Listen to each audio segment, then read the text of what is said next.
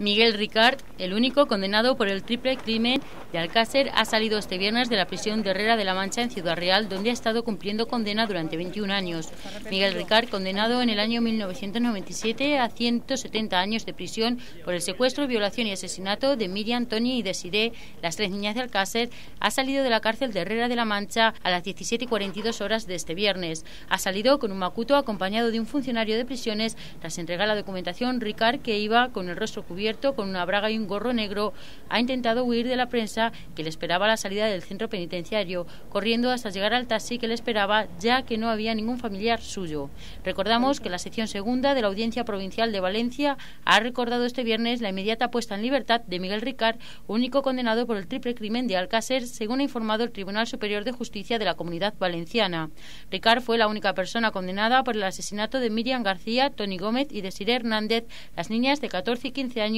que desaparecieron en noviembre de 1992 y cuyos cuerpos fueron localizados en el paraje de la Romana el 27 de enero de 1993. El otro considerado autor de este secuestro, Antonio Anglés, huyó y figura en paradero desconocido desde entonces.